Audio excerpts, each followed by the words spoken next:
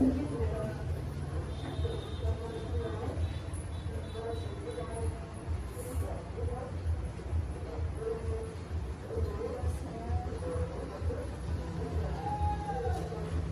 đọc